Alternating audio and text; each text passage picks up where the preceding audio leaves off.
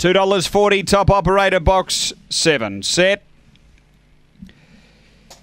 And away. And patchy sort of start. Luna Luna's out quickly. The reserve is going to push through and lead early. Uh, Victor Kate Miss Beat the inside and three away. Next is Sunday Sangria. Uh, then top operator. Next is Garnier Bale M's Wonder and back at the tail Earlology. Up front runs wide Luna Luna. Taking the run Miss Beat and then Victor Kate. It's Miss Beat Luna Luna. Miss Beat Luna Luna. Miss Beat.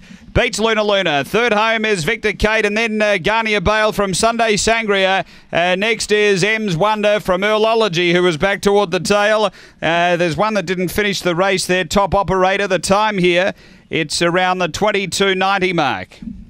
22.89 the run. Numbers are 1, 10, 3 and fourth home we uh, stand by for. Uh, five is in the frame for fourth. Number one, Miss Beat. Uh, the rail um, certainly helped her. She was able to uh, hug that all of the way, and the leader uh, rolled up the track and left plenty of room for Miss Beat to uh, take the run, and has been too good for Laurie Carlin.